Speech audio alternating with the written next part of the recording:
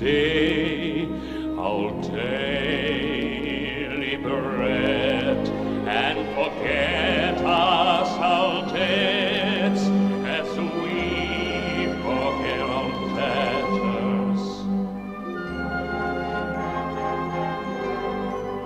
And lead us not into temptation, but deliver